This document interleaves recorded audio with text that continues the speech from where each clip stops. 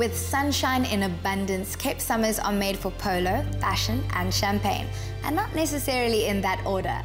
Mishal headed out for a day of fun and style.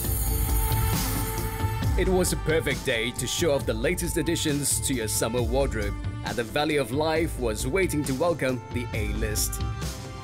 Celebrated as a gathering of polo enthusiasts in the beautiful Cape Town Winelands, today's event is one of the most sought-after tickets of the South African social calendar, offering a blend of polo, the finest fashion and cuisine, as well as top celebrities and influencers. There's only one thing left to do. Let the games begin. Mishal met up with the mastermind behind the event. Anina, this is the eighth year of the polo event. Did you ever imagine that it would be this big? We could never have imagined it would be this big eight years later. It's grown from strength to strength, and we're super happy with where the event is today. People just love the sport. It is the sport of kings. There's this perception that polo is an elite sport. How are you changing that opinion? Obviously, very aspirational, but we also try and make it accessible for everyone. So this year we added a picnic area. You can come and enjoy the polo. You can buy some beautiful food from the gourmet food trucks we have and just have a relaxed picnic on the grass. The fashion on display here is spectacular. What are your thoughts? We really felt that we should celebrate Cape Town summer and, you know, it is kind of polo chic, so beautiful preppy dresses and summer suits in pastel colors, brights and florals, so it's all about looking pretty and preppy and sophisticated and chic.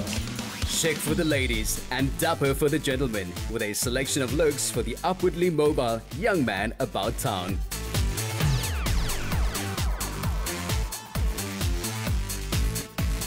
While the suit is always a safe bet, the trendsetters blaze a trail of their own.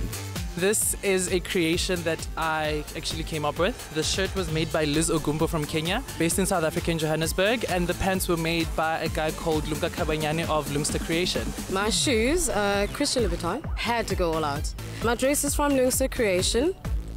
Tried, tested, love him. Cape Town Summer to me, showing leg, and you gotta show skin. So Every aspect forms part of a formula meticulously crafted by the event's MD at the estate. Simone, the event has grown exponentially from guests flying in from all around the world. Now, what is some of the feedback that you do receive? The guests love the event. It's just fantastic to come to the beautiful winelands, the place we call Valley of Life. I know that you and the team are very passionate about making this inclusive. How are you going about achieving that? We've launched the Equestrian Academy, and what we do with that is everybody cheers for the ponies and the players, but the men, the back of the scenes, working really hard, getting the horses fit, looking after them, looking even after the players. The grooms are an integral part of the sport, and our intention is to truly invest in them and keep investing in them in education and furthering their careers in, in the sport that they so dearly love, which is polo.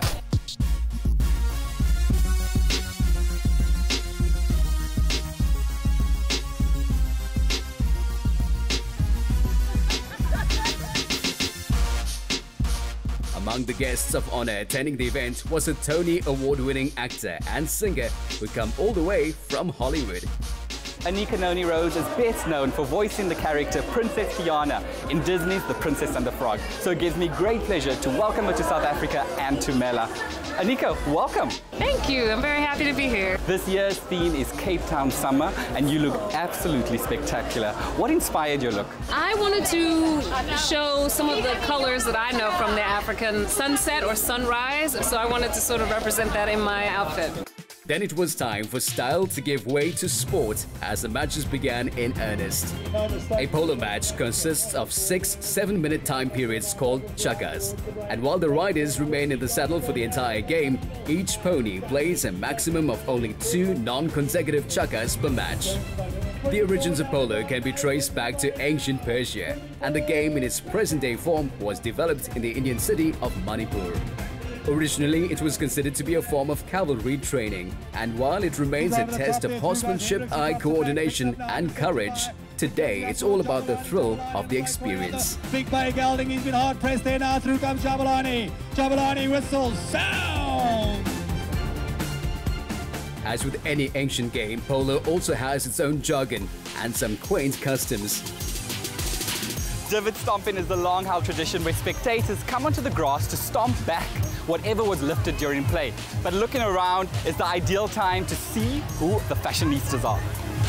These are Christian Louis Vuittons, um, red sole bottom. And outfit-wise, this is Scalo design. He's a local designer in South Africa. And yeah, he knows my style, he knows what I want, and he's the best person to go to when I need help. So I was just like, I'm going to the polo, and this is the theme, put something together. I think polo is classic. I haven't watched it live before, and certainly always fascinated by different kinds of sports, especially sports that have been inaccessible to most people. This actually is our first time, and, and funny enough, we were just saying that uh, this is one of our bucket list items, so check. With the final match decided, the top team could enjoy the satisfying taste of victory. As the sun sets on a perfect Cape Town summer day, it's easy to understand why this is the most sought after ticket on the social calendar. From the most sumptuous food to the finest fashion and the world's top influencers and celebrities. I can't wait for next year, and I think I better start looking for my wardrobe.